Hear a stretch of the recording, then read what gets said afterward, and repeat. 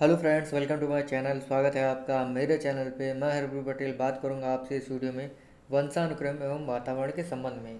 और अगर आप मेरा चैनल पहली बार देख रहे हैं तो प्लीज़ चैनल को सब्सक्राइब करना मत भूलिएगा और बेल आइकन को भी दबाना मत भूलिएगा, जिससे कि आपको नई वीडियोज़ की नोटिफिकेशन समय से मिलती रहे। और ये सभी प्रश्न किसी न किसी परीक्षा में, चाहे यू टेट हो, चाहे सी टेट हो, के एग्ज़ाम में आए हुए हैं और बहुत ही महत्वपूर्ण है। और अगर आपने पहले के बाल विकास की वीडियो नहीं देखे हैं तो आपको प्लेलिस्ट का लिंक मिल जाएगा डिस्क्रिप्शन में। आप वहाँ से प्लेलिस्ट में जाकर जो है, जो भी वीडियो देखना चाहते हैं, देख सकते हैं।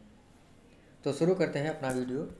हमारा पहला प्रश्न है, सामान्य पुरुष में एक्स वाई गुणसूत्र होते हैं, जबकि सामान्य महिला में कौन से गुणसूत्र होते हैं? तो सामान्य महिला में जो है एक्स एक्स गुणसूत्र होते हैं, इसीलिए इसका ऑप्शन ए सही है। अगला प्रश्न है। बालक का विकास अनुवांशिकता तथा वातावरण का गुणन फल है। तो ये कथन किसका है? ये कथन है आपका वुडवर्थ का। इसीलिए इसका ऑप्शन बी सही है। वुडवर्थ ने कहा है कि बालक का विकास अनुवांशिकता तथा वातावरण का गुणन फल है।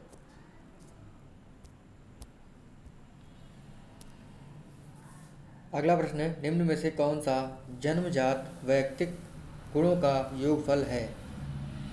तो देखिए जो है, वंशानुक्रम।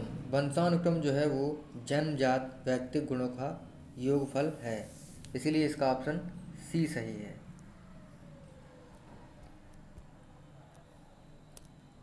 अगला प्रश्न है मनुष्य की बुद्धि आगे की पीढ़ियों से संक्रमित होती है। किसका कार्य इस जन्मजात योग्यता के विकास के लिए उपयुक्त परिस्थितियों का निर्माण करना है? तो मतलब ऐसी परिस्थितियों का निर्माण करना किसका कार्य होता है? मनुष्य की बुद्धि आगे की पीढ़ियों से संक्रमित होती है। तो इस प्रकार की जन्मजात योग्यता के विकास के लिए कौन सी परिस्थिति उत्तरदायी है? तो इसके लिए उत्तरदायी है वातावरण। इसीलिए इसका ऑप्शन सी सही है।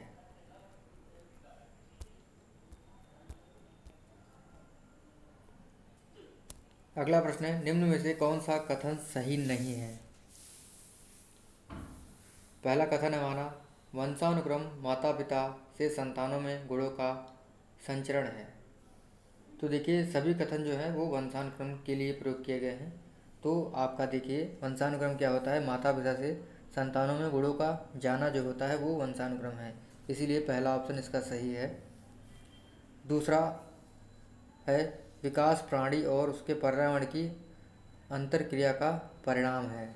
तो ये भी सही है आपका ऑप्शन अगला है, वंशानुक्रम व्यक्ति की जन्मजात विशेषताओं का शोधन है।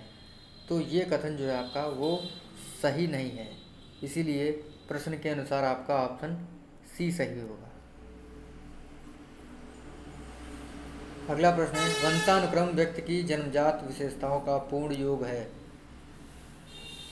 वंशानुक्रम व्यक्ति की जन्मजात विशेषताओं का पूर्ण योग है। ये कहा है बी एन झा ने इसीलिए इसका ऑप्शन बी सही है। अगला है रूसों के शिक्षक संबंधी विचार किस पुस्तक में मिलते हैं? तो ये मिलते हैं एमिल में। एमिल पुस्तक में जो है, शिक्षक संबंधी विचार या शिक्षा संबंधी विचार जो है रूसो की पुस्तक एमिल है, इसमें मिलते हैं। इसीलिए इसका ऑप्शन बी सही है। अगला प्रश्न है डेमोक्रेसी और एजुकेशन पुस्तक किसकी है? तो ये है जॉन डीवी की। इसीलिए इसका ऑप्शन डी सही है। अगला प्रश्न है, वर्णांतता कैसा रोग है? तो जो वर्णांतता है, वो वंशानुक्रम रोग है। इसीलिए इसका ऑप्शन ए सही है। अगला है, वर्णांधता में व्यक्ति लाल व हरा रंग में भेद नहीं कर सकता। इसे कौन सा दोष कहा जाता है? तो इसे कहा जाता है प्रोटीन दोष। इसीलिए इसका ऑप्शन सी सही है।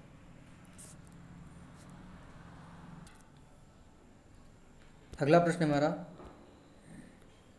बहुत ही महत्वपूर्ण परिभाषा है ये। मनुष्य स्वतंत्र पैदा होता है, किंतु वह बाद में सब ओर से जंजीरों में बाँध दिया जाता है। यह कथन किसका है? तो ये कथन है रूसो का। इसीलिए इसका ऑप्शन बी सही है। इसको कैसे याद कर सकते हैं कि मनुष्य स्वतंत्र पैदा होता है, किंतु बाद में सब ओर से रस्सी में बाँध दिया जाता है। रस्सी, रूसों को जो है आप रस्सी से कनेक्ट करके ऑप्शन में टिक कर सकते हैं, कभी भी आपको मिल जाता है तो। इसीलिए इसका ऑप्शन बी सही है। अगला है, मनुष्य में चोट लगने या कट जाने पर रुधिर स्राव बंद नहीं होता कौन सी बीमारी होगी ये? तो ये है हीमोफीलिया। हीमोफीलिया जो रोग है, वो वंशानुक्रम वाला रोग है और इसमें जो है, अगर चोट लग जाती है तो रक्त बहना बंद नहीं होता। इसीलिए इसका ऑप्शन सी सही है। अगला प्रश्न है हमारा भ्रूण में कितने क्रोमोसोम्स होते हैं? तो भ्रूण में होते हैं तेईस जोड़ी, इसीलिए इसका ऑप्शन बी सही है। अगला प्रश्न है सर्वाधिक उपयुक्त जीवित सर्वाइवल ऑफ़ द फिटेस्ट रहता है का सिद्धांत है? मतलब जो सबसे उपयुक्त है, वही जीवित रहेगा, बाकी सब खत्म हो जाएँगे। तो ये सिद्धांत कह का, किसका है? सर्वाइवल ऑफ़ द फिटेस्ट तो ये है डार्विन का इसीलिए इसका ऑप्शन सी सही है। अगला प्रश्न है, निम्न में से कौन सा एक सही क्रम है? एक सही क्रम है।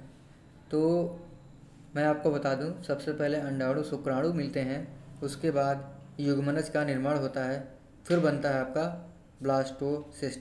इसीलिए इसका ऑप्शन डी सही होगा। बाकी जो आपके ऑप्शन हैं, वो गलत हैं। और इसको आप याद कर लीजिए, सभी प्रश्न जो है किसी ना किसी परीक्षा में आए हुए हैं। तो याद कर लीजिए, रट लीजिए इन क्वेश्चनों को। अगला प्रश्न हमारा, वह अवस्था जो कि माता के इक्कीसवें गुणसूत्र जोड़े के अलग ना हो पाने के कारण होती है, कहलाती है। तो ये कहलाती है डाउन सिंड्रोम, इसीलिए इसका ऑप्शन ए सही है।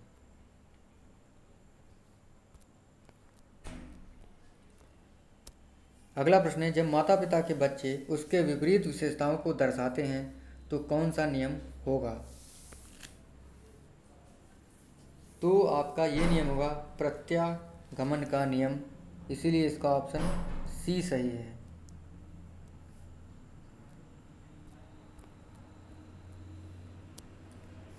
अगला प्रश्न हमारा, विकासवादी सिद्धांत का समर्थक कौन है? तो विकासवादी सिद्धांत का समर्थक है लेमार्क लेमार्क जी हैं विकासवादी सिद्धांत के समर्थक, इसीलिए इसका ऑप्शन ए सही होगा। लेमार्क जी ने विकासवादी सिद्धांत का समर्थन किया है। अगला प्रश्न है, वंश, वंशानुगत सिद्धांत के जनक कौन हैं? तो ये हैं मेंडल, इसीलिए इसका ऑप्शन बी सही है। अंतिम प्रश्न है इस वीडियो का वर्णांध रोगी किन रंगों की पहचान नहीं कर पाता है? तो अभी एक प्रश्न पहले ही हो चुका है कि वर्णांध रोगी जो होता है वो लाल और हरे रंगों में पहचान नहीं कर पाता है, इसीलिए इसका ऑप्शन आपका बी सही होगा। तो थैंक यू फ्रेंड्स मेरा वीडियो यहीं पे ख़त्म होता है और अगर आपको मेरा वीडियो अच्छा लगता है तो प्लीज़ लाइक करें कमेंट करें और शेयर करें। और अगर आपको कोई कन्फ्यूज़न होती है तो आप कमेंट करके मुझे बता सकते हैं कि सर मुझे ये क्वेश्चन समझ में नहीं आया तो मैं आपको बता दूँगा। तो थैंक यू फ्रेंड्स मेरे चैनल पर आने के लिए आपका बहुत बहुत धन्यवाद।